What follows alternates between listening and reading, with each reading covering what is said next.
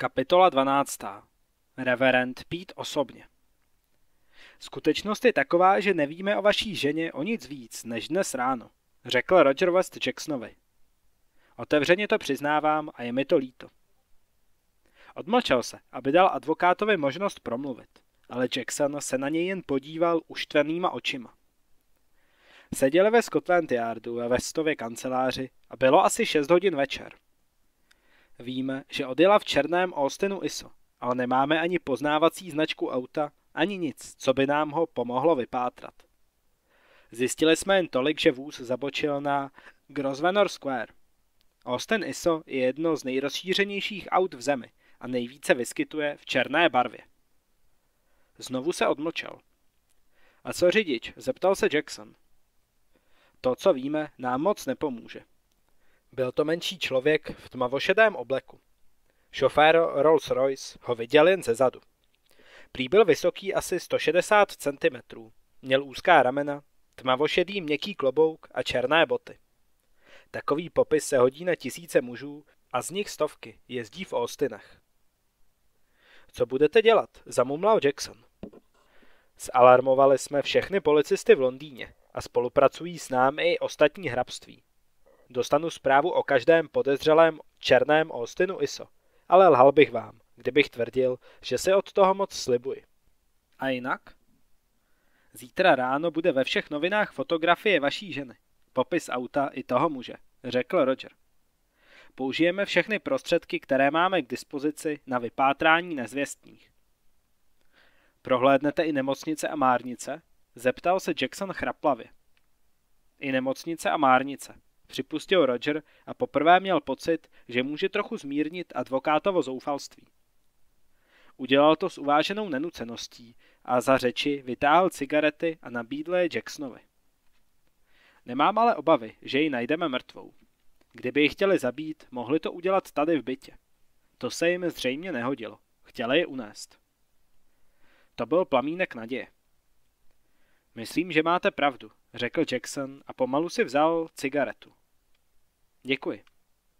Oba si zapálili. Ale proč ji k čertu unesli? K tomu opravdu neměli důvod. Ach, nějaký důvod určitě existuje. Pronesl vest rozhodně. Až ho objevíme, dostaneme se blíž únoscům. Pořád pátráme po lidech, co mají něco proti vám. Informovali jsme se i na ty dva muže, jejichž jména jste nám dal. Jde o ty, co vám po vynesení rozsudku vyhrožovali, že se pomstí. Jeden už umřel, druhého nedávno propustili z vězení. Jeho žena si zařídila na venkově malou drůbežářskou farmu. A jak jsme zjistili, ten člověk už křivé chodníčky na dobro opustil. Kromě toho na něj jeho žena dává dobrý pozor. A navíc se vůbec nepodobá člověku, jehož popis máme. Vypadá to beznadějně, zamumlal Jackson. Weste. Odmlčel se a potom rychle pokračoval. Co můžu udělat? Nejsem schopný pracovat. Moji partneři chápou, že musím něco podniknout, abych Rosemary našel. Můžete udělat jedinou věc. Rozeberte důkladně svůj život a snažte se zjistit, jestli jste někomu nedal příčinu k tomu, aby vás nenáviděl. A když nic nenajdete, zkoumejte život své ženy. Co o ní vlastně víte? Jackson zaváhal. Moc ne, připustil po chvíli. Seznámili jsme se náhodou na malém večírku u jednoho přítele. Neměla moc šťastné mládí. Otec jí zemřel, když byla ještě maličká a matka musela tvrdě pracovat, aby ji umožnila studovat. Vím, do kterých škol chodila, ale... Matka ještě žije? Ano, bydlí v Oxfordu. Kdo ví, jak na ní zpráva o únosu zapůsobí. Volal jsem její přítelkyni hned, jak mi to oznámili, ale měl bych tam zajet a říct jí to ještě sám. Neumím si představit, že by v životě Rosemary bylo něco... Na chvíli zmlkl a pak prohlásil. Udělám, co se dá. Ale jestli si budete myslet, že bych mohl ještě něco podniknout, tak mi to pro boha řekněte. Jistě, slíbil Roger bez váhání. Vemte si papír a tušku a napište všechno, co si pamatujete ze své spolupráce se soudkyní Kitovou z Ligate. Především mě zajímá tento případ. Roger vyndal z náprstní tašky novinový výstřižek. Pověřil jsem Connollyho, aby v tom směru pátral, ale možná najdete něco, co jemu unikne. Jackson si článek přečetl. Už si na to nepamatuji. Po krátké odmlce pokračoval. Nevím, ale počkejte, přece jen si vzpomínám. V Ligate došlo k několika vážným nehodám a nějaký neoficiální výbor bdělosti spustil velký pokřik. Bylo to nedaleko elektrárny. Znáte to tam. Jsou tam dvě nepřehledné křižovatky. Stalo se to brzy z rána, když bylo venku jen málo lidí. Ten neoficiální výbor trval na soudním líčení. Ano, už si vzpomínám. Obětí byla mladá žena, mám dojem, že byla těhotná. Ano, určitě byla v jiném stavu. Proto ten případ tak upoutal zájem veřejnosti. Víte, jak bývají ženy zamyšlené a jak se pomalu pohybují, když jsou v jiném stavu. Ta žena vystoupila z autobusu, ze zadu ho obešla a vešla přímo do jízdní dráhy, kde se z opačného směru přihnal Jaguár. Vůzí těžce zranil a žena potratila. Já jsem řidiče obhajoval. Vzpomínám si, že jsme v kanceláři hodně diskutovali o tom, jestli máme případ vzít, protože mnoho lidí cítilo se zraněnou ženou lítost. Obžaloba zněla. Ublížení na těle způsobené neopatrnou jízdou. Neoficiální výbor bdělosti podpořil prokurátora několika svědky, ale já jsem měl pro obhajobu nejlepší karty. Svědčila pro nás jedna žena středního věku.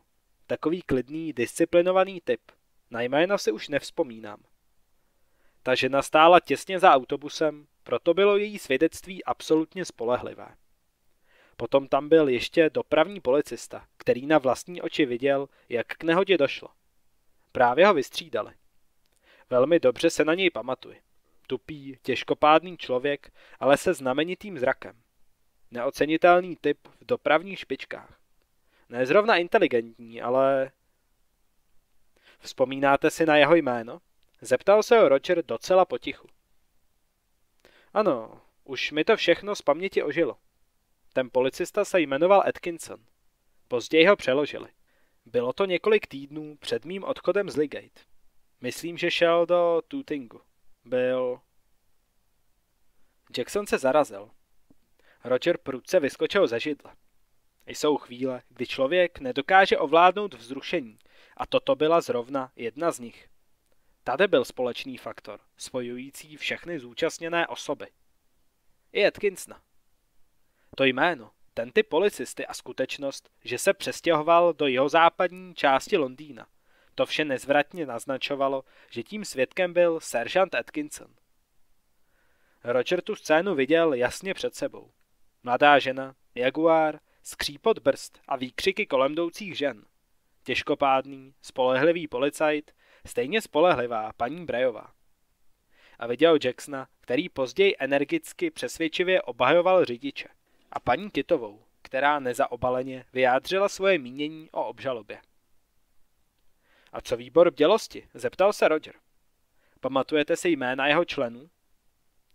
To opravdu ne, prohlásil Jackson po krátkém přemýšlení. Určitě si vzpomínám na to, jaký byli ti jejich svědci, ale dokážu uvést jen jediné jméno. Ale ostatní si snadno zjistíte z protokolu. Kdo je ten jeden? Farář, který pořád burcuje veřejnost kvůli dopravním nehodám. Noviny o něm píší jako o faráři Pítovi, řekl Jackson. To je ten chlapík, o kterém včera večer vyprávěla Rosemary. Před několika týdny navštívil a... Zmlkl a zalapal po dechu. Doufám, že si nemyslíte. Určitě si hned zajdu za farářem Pítem, řekl Roger velice mírně. Zatím napište, prosím, tu zprávu. Měl bych konečně navštívit Rosemarynu matku, pane Westa. Bylo vidět, jak v sobě musí Jackson přemáhat přání mluvit dál o faráři. Nezdržím se tam pochopitelně moc dlouho, ale když odjedu teď, budu na místě kolem půl deváté a zpátky se vrátím o půlnoci. Bude stačit, když tu zprávu napíšu zítra ráno? Ano, odpověděl West. Ale jestli si vzpomenete na něco, co se vám bude zdát důležité, zatelefonujte do Jardu nebo ke mně. Číslo do mého bytu jsem vám dal dnes odpoledne, že? Někde ho tady mám, řekl Jackson a chvíli hledal v náprsní tašce. Aha, tady je. Weste. Najednou polkl a otočil se. Do očí se mu zřejmě vedraly slzy. Ach, nemá cenu vás honit. Vím, že uděláte všechno, co je ve vašich silách.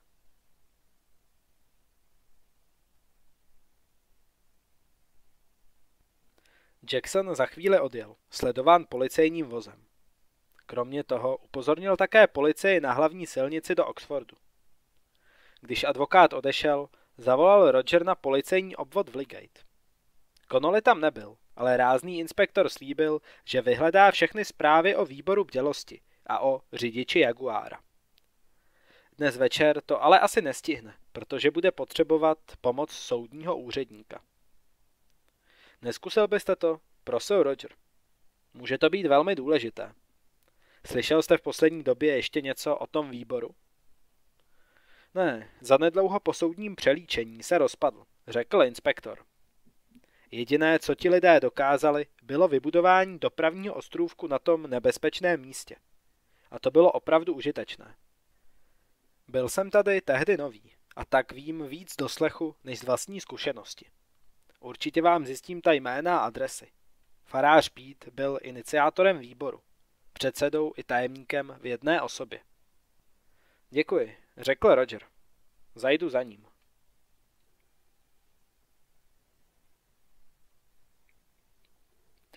Ten den hodně přečetl a slyšel o faráři Pítovi nebo o reverendovi, duchovním otci Pítrovi Waitiovi. Byl to ještě mladý člověk, asi 25 letý, duchovní malé sekty. Všechny zprávy o něm se shodovaly. Titul reverend bylo spíš zdvořilostní oslovení, než znak nějakého teologického vzdělání. Waitý měl příjemný vzhled, byl laskavý a šlechetný, působil v mnoha dobročinných výborech a vedl skautský oddíl. Měl neposkvrněnou pověst a mohl by se těšit všeobecné oblibě, kdyby neměl jednu fanatickou slabost. Nesměřitelný postoj k dopravním nehodám. Podle jeho názoru byla každá dopravní nehoda vraždou a se všemi vrahy bylo potřeba zacházet stejně. Sekta, ke které patřil, měla jen několik obcí, z toho jednu v Ligate a jednu v Tootingu, kde byl duchovním už tři roky. Bydlel v jednom z těch velkých domů s výhledem na pole, kde používal část svého bytu jako pracovnu pro protinehodovou kampaň a rozesílal odtud brožurky, plagáty a dopisy. Jeden z takových dopisů poslal i Rosemary Jacksonové předtím, než ji navštívil. Náhoda? Roger zastavil před domem krátce po sedmé hodině večer. Měl špatnou náladu. Těsně před jeho odchodem z Jardu totiž přišla z nemocnice zpráva o Chedworthovi. Doktoři už mu dávali jen hodně malou naději na uzdravení. Roger si už dávno uvědomoval Chedworthovu důležitost pro kriminální oddělení ale nevěděl, jak všichni v Jardu na vrchním komisaři visí. Nebyl tam jediný člověk, na kterém by nebyl vidět zármutek. Roger ho pocitoval až bolestně. Uvědomil tutingskou policii, že přijede a podle domluvy se sešel na nádvoří nedalekého místa, kde zahynul Atkinson s konstáblem Davisem. S Davisem přišel ještě jeden seržant, který se ale držel stranou a přenechal slovo Davisovi. Zkoušel jsem to dvakrát, pane vrchní inspektore, ale nepodařilo se mi zjistit žádnou souvislost mezi Atkinsonem a farářem Pítem. Chci říct panem Petrem Waitym. Paní Atkinsonová se na něj pamatuje z doby, kdy bydlel v Ligate. Její muž na něj asi hodně nadával, ale to je vše. Dobře, jak se daří paní Atkinsonové? Je u ní sestra z Manchesteru, řekl Davis. Myslím, že teď bude trochu klidnější ale budu s ní i dál ve spojení. A informujte mě o všem, zdůraznil Roger. Nevíte, jestli je Whitey doma? Do rozhovoru se zapojil seržant. V poledne ho viděli, jak jde domů a od té doby prý nevyšel. Je tam jediný východ? Ano, kromě dvou zahradních branek, ale ty vedou stejně na jednu cestu. Dobře, děkuji. Neočekávám žádné potíže. Chci si s farářem jen popovídat ale nechte pro jistotu někoho na blízku, když bude třeba, zavolám ho. Davis je ve službě nebo má volno? I vám k dispozici, pane vrchní inspektore, řekl seržant. To je výborné, děkuji. Tak, pojďme nahoru, Davisy. Usmál se Roger. Vešli do tmavé zahrady, kde u zdi a na oválném záhonku uprostřed rostly nízké stromy a husté keře. Skleněnou tabulí nad vchodovými dveřmi bylo vidět, že se uvnitř svítí, ale ani jedno okno nebylo osvětlené. Davis posvítil baterkou na cedulku se jmény a tlačítky zvonků. Byt 6. Peter Waity. Středisko kampaně proti vraždám na silnicích. Dělá to opravdu důkladně, co? Ušklíbil se Davis. To ano. Roger zazvonil a za chvíli bylo slyšet drsný bzukot a cvaknutí, když se domovní dveře otevřely. To je ale neopatrnost, když nás pustí dovnitř a ani se nezeptá, kdo jsme, poznamenal Davis. Ale možná, že někoho čeká. Mám počkat tady, nebo jít s vámi nahoru. Zůstaněte na nejvyšší plošině schodiště, to bude asi nejlepší. Dobře, pane. Schodiště bylo špatně osvětlené. Nátěr na dveřích a na zábradlí opadával a na stěnách byly vlhké skvrny. Pod popraskaným linolem vrzaly dlaždičky, v každém patře byly dva byty. Ze žádného nezaslechli ani nejmenší zvuk a v tom šeru vypadali přímo tajemně. Tady to je, řekl Davis a posvítil baterkou na číslo 6, na tmavých dveřích. Já se postavím tak, aby mne nezahlédl, až přijde. Dobře, souhlasil Roger. Ano, Davis by se skutečně hodil pro kriminální oddělení. Roger stiskl tlačítko uprostřed dveří. Ozvalo se hodně hlasité zazvonění. Za chvíli byly slyšet kroky, potom cvaknutí. Jako když v předsídni rozsvítí světlo. Hned na to se dveře do kořán otevřely a objevil se mladě vypadající muž s kšticí plavých vlasů, do široka otevřenýma očima a jakoby údivem po otevřenými ústy. Zdálo se, že čekal někoho jiného. Dobrý večer, pozdravil Roger. Jste pan Whitey? Já... Ano, ano, jsem, odpověděl muž. Jsem Whitey, ano. Vypadal zmateně a zklamaně. Mohu, mohu pro vás něco udělat? Jestli jste přišli na schůzi, tak ta bude až zítra večer. Ale jestli chcete nějaké brožury a plagáty... Zarazil se. Z tváře se mu dalo vyčíst, že si opravdu nemyslí, že návštěvník přišel pro letáky na podporu kampaně. Rád bych si s vámi promluvil, vysvětlil Roger a vytáhl svůj služební průkaz. Zatímco farář četl jeho text, Roger si ho zkoumavě prohlížel. Reverend Peter Whitey byl ještě hubenější, než jak naznačovaly jeho fotografie v novinách. Vypadal skoro dětsky a měl plné, svěže, červené rty.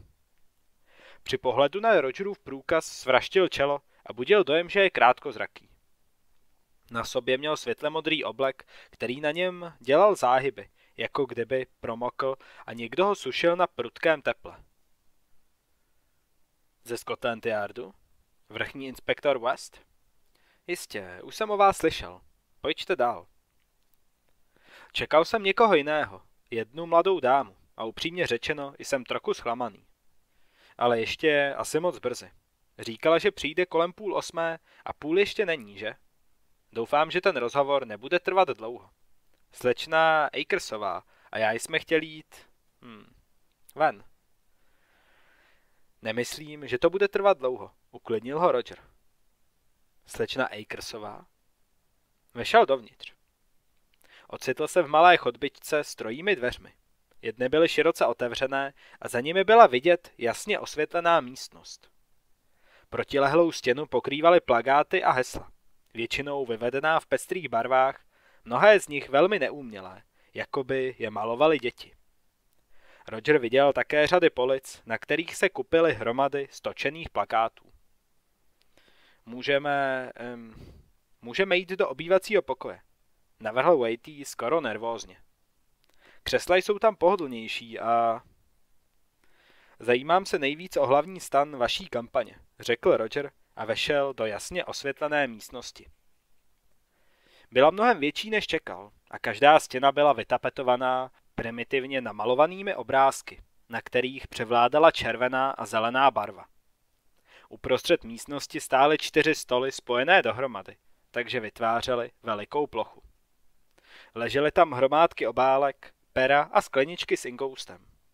V jednom rohu místnosti stál malý psací stůl se stoličkou, za kterou bylo velké okno. Na stolku byly papíry a malý šedý psací stroj. Vypadá to skoro jako kancelář volební kampaně, poznamenal Roger Ledabilla.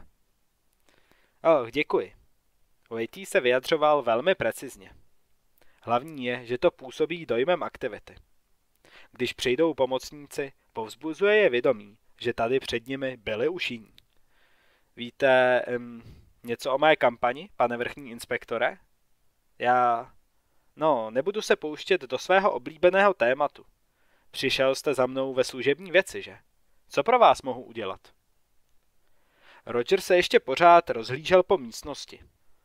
Máte hodně lidí, co pro vás pracují už od začátku kampaně, pane Waite? Prosím? Ach, myslíte dlouholeté pracovníky. No, dva nebo tři věrní u mne vydrželi až do dneška. Ale jak asi víte, začínal jsem v Ligate a pro ty lidi je to sem daleko. Dva se náhodou přestěhovali blíž k nám a ti chodí pravidelně, ale musím přiznat, že veřejné podpory nacházím hodně málo. Žalostně málo, to je fakt. Roger se na něj zkoumavě díval a poskytoval mu čas, aby se rozohnil. S tím člověkem se něco dělo. Nějaká proměna. Ve velkých, skoro dětských očích se objevilo něco naléhavého, jako by chtěl Rogera přinutit, aby ho poslouchal. Pevně uchopil klopy Saka, jako to prý dělal, když mluvil na schromážděních a nejen k jednotlivci. Dávalo mu tu nádech patetičnosti, ale i tak byla v celém jeho zjevu určitá důstojnost. Jedním z největších protikladů k člověku je strach o sebe a lhostejnost k ostatním. Jistě, existuje i soucit, ale k čemu je soucit mužům, ženám a malým dětem, které kola aut rozdrtí, zraní nebo zmrzačí na celý život? Soucit jim nepomůže. Soucit je prázdný pohár, kdykoliv jim ho nabídneme. Takže soucitem nic nezískáme. Je nutné vyhlásit válku vrahům, rozvinout širokou kampaň proti zabíjení na silnicích. Je potřeba vyburcovat miliony lidí, aby donutili vlády vydat zákony, které jsme už dávno měli mít. Zákony proti vrahům za volanty. Co jsou jiného než vrazy? Teď mu v očích hořelo světlo obrovské vášně. S jednou rukou styčenou, s ukazováčkem namířeným k nebi. Ten malý človíček vykřikl. Řekněte mi, jak to, že tito vrazy mohou beztrestně zabíjet, mrzačit a zraňovat? Proč by neměli pikat jako ostatní vrazy? Řekněte mi, proč?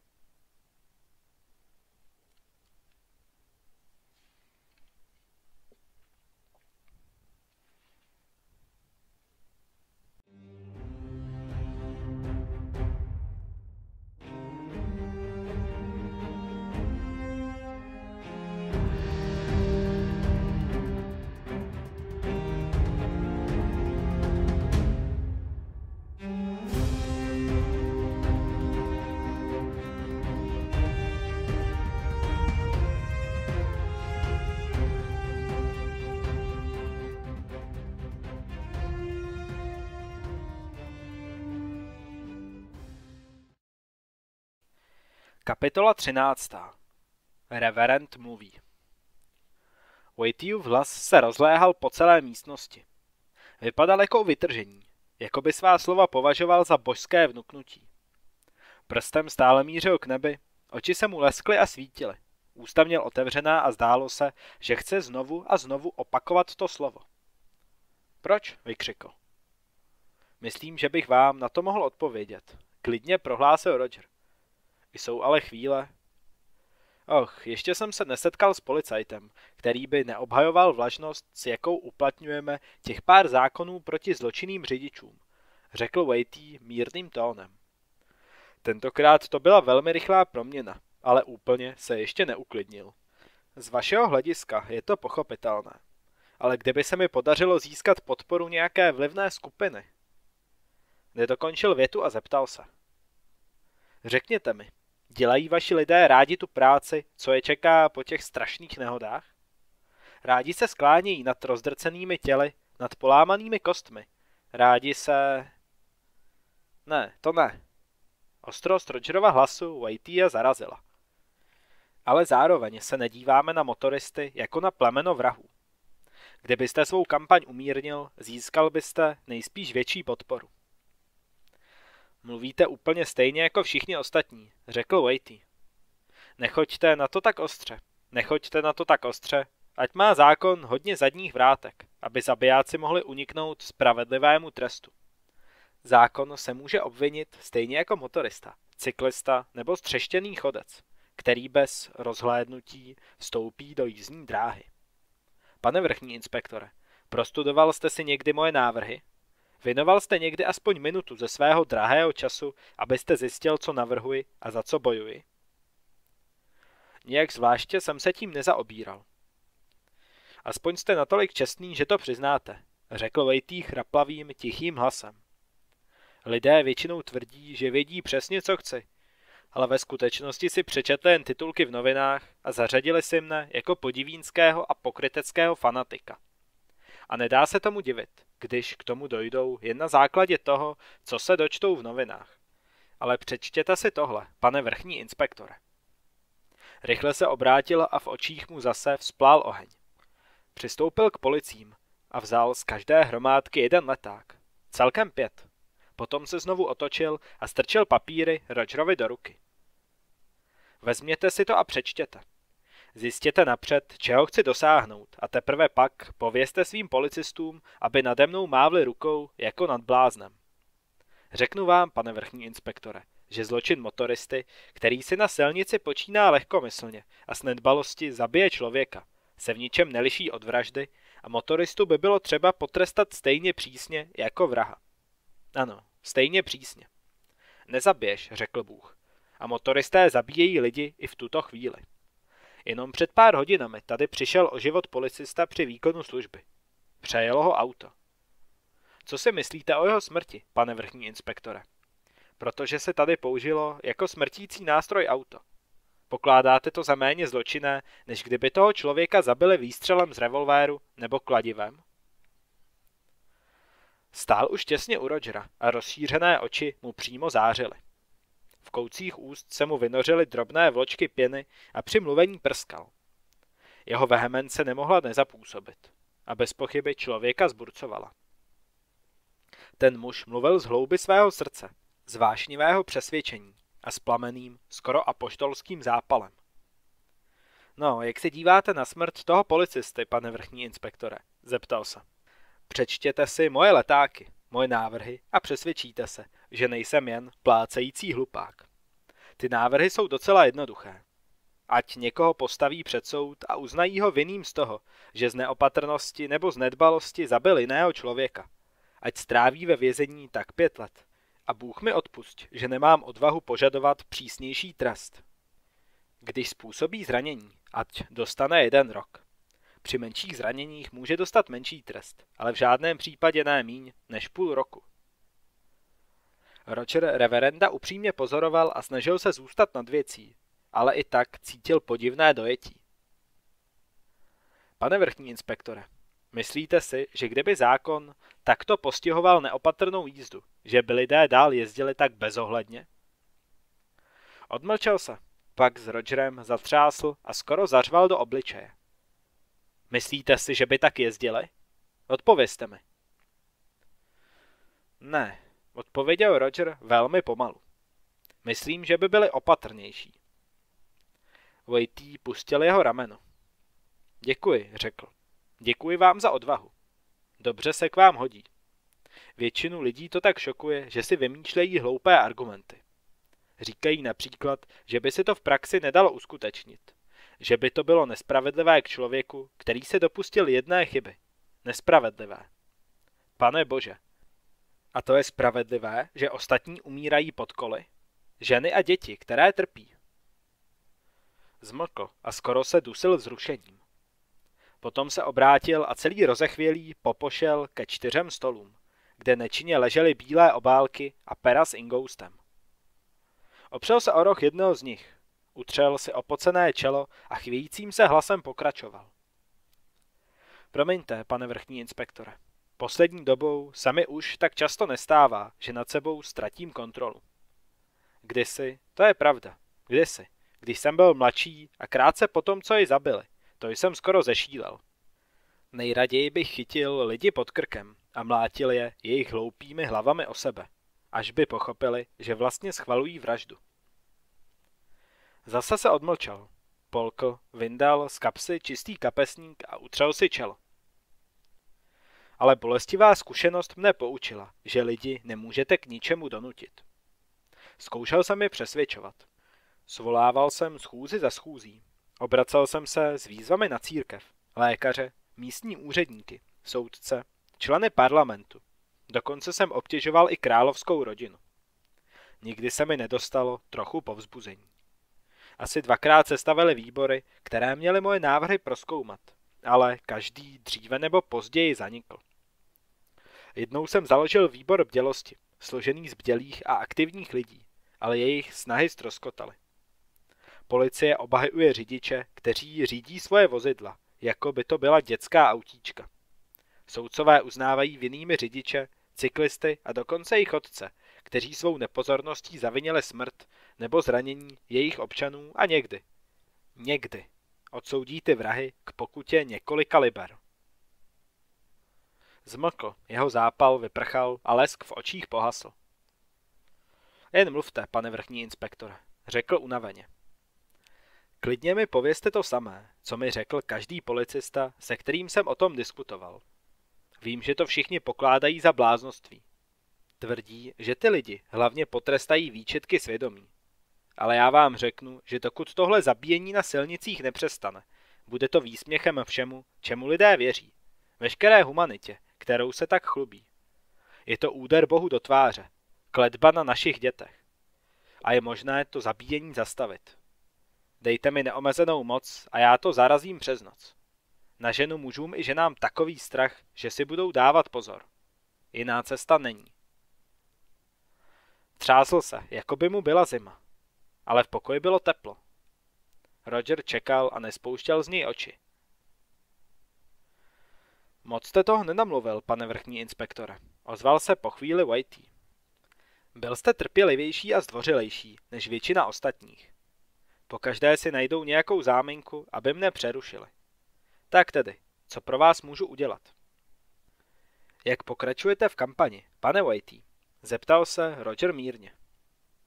Ta otázka je na místě. Povzdechl si farář a lítostivě se rozhlédl po velké, skoro prázdné místnosti. Píšu dopisy příbuzným obětí a snažím se je získat na svou stranu. Kromě toho píšu členům parlamentu a do místních novin. Ale málo kdo se obtěžuje s odpovědí. Nemám to srdce psát lidem hned po tragické události, když ještě mají čerstvý smutek. A oni tak rychle zapomínají. Tak strašně rychle. Několik jich sem chodí pravidelně a pracují. Včera večer jsem tady měl schůze. Můj výbor má 30 členů, ale přišlo jich jen sedm.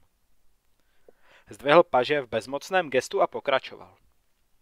Tak vidíte, a přece mám pravdu. Jsem přesvědčený, že mám pravdu. Tohle masové vraždění by se dalo zastavit skoro ze dne na den. Letmo se podíval za Rogera na dveře, jako by tam něco zaslechl. Na chvíli měl ve tváři výraz radostného očekávání. Zřejmě se už už chtěl rozběhnout a rozevřít dveře. Ale ten výraz v zápětí zmizel a Whiteyův pohled se vrátil k Rogerovi. Znovu se vás ptám, pane Weste, co pro vás mohu udělat? Jeho hlas teď zněl tlumeně a unaveně. Sám to přesně nevím, prohlásil Roger klidně. Snažím se zjistit podrobnosti o jedné nehodě, ke které došlo před čtyřmi roky v Ligate. Vy a několik členů výboru bdělosti jste svědčili proti obžalovanému. To bývalo dost často, pane vrchní inspektore.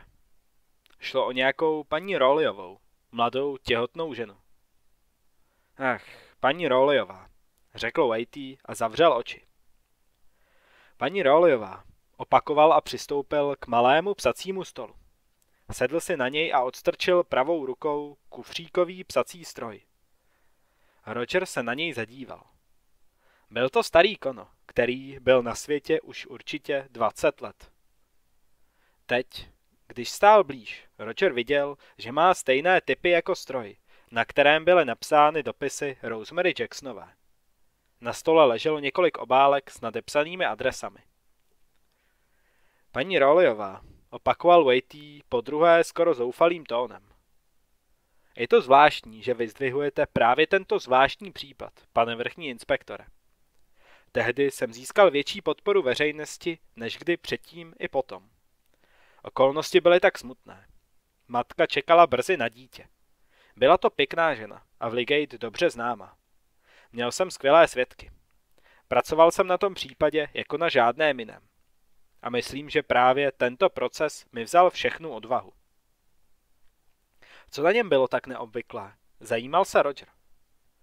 Ze začátku nic, odpověděl Waity. Svědkové obhajby byly velmi dobří. Soud projevoval obvyklé nepřátelství k mému výboru. Rozsudek zněl nevinný. Několik dní na to byla veřejnost pobouřená, ale za chvíli se na všechno zapomnělo. A potom, potom jsem si uvědomil, že právě v tomto případě jsem se neměl snažit vyhrát, protože to byla její vina.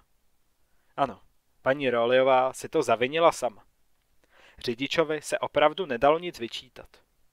Diskutoval jsem s mnoha lidmi, až jsem dospěl k přesvědčení, že právě tento případ, do kterého jsem vkládal tolik nadějí, byl z mé strany omyl. Umíte si představit trpčí irony, pane vrchní inspektore? Ne, odpověděl West pomalu. To pro vás muselo být velmi kruté zklamání. A výbor bdělosti, ten se potom rozpadl? Ano, a brzy na to jsem opustil Ligate. Věděl jsem, že tam už nemám žádnou naději něčeho dosáhnout. Ale i tak jsem chtěl ve svém úsilí pokračovat. Nemohl jsem se své kampaně, toho křižáckého tažení, vzdát pro jednu chybu. Od té doby jsem pomalu ztrácel vlivnou podporu. Předtím občas na kampaň přispěli, jedny noviny mi dokonce poskytly finanční dar.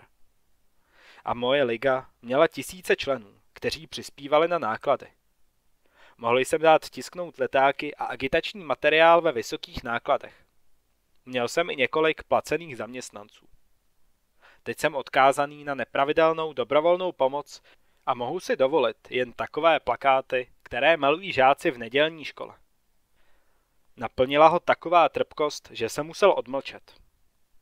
Ale nevzdal se, pomyslel si Roger. Většina lidí by se vzdala, ale tenhle hubený, útlý muž se smutnýma očima ne.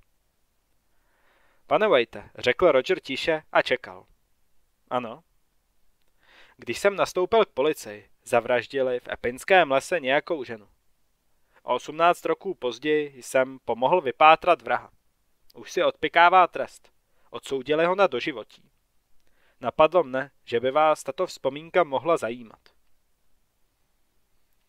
Whitey stál docela tiše, s rukama pozdviženýma do výše pasu a smírně rozkročenýma nohama jako boxer, připravený na útok. Oči mu zjasněly a rozzářily se. Až po dlouhé době řekl. Nevím, co vás sem přivedlo, pane vrchní inspektore, ale jsem rád, že jste přišel. Přiznávám, že jsem se málem vzdal. Pracuji na té kampani přes deset let a měl jsem dojem, že už nedokážu ve svém díle dlouho pokračovat. Vy jste mě zahambil a já tu výčitku přijímám. 18 roků nebo 80, co na tom záleží? Jestli svého cíle dosáhneme během života nebo ne, to je vedlejší. Víte, jak to všechno začalo? Rád bych to věděl.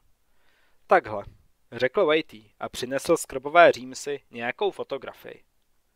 Byla hodně vybledlá a na několika místech hnědá barva zežloutla jako novinový výstřižek, se kterým byla zarámovaná.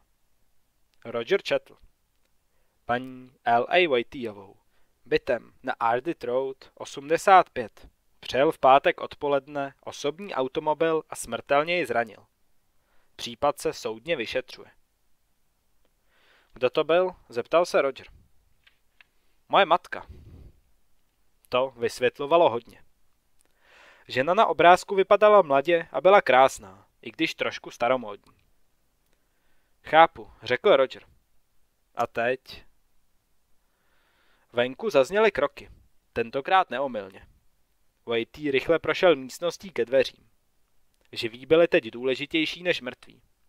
V zápětí se rozdrnčal zvonek.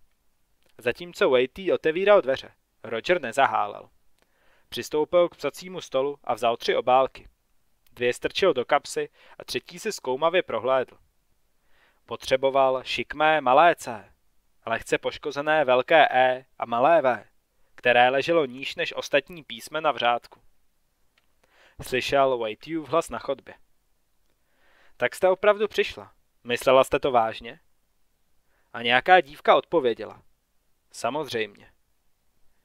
Rogera nemohli z chodby zahlédnout a měli ještě čas zjistit, že hledaná písmena se shodují s písmeny v dopisech, které dostala Rosemary Jacksonová. Ty dopisy byly napsány tady nebo na tomto stroji.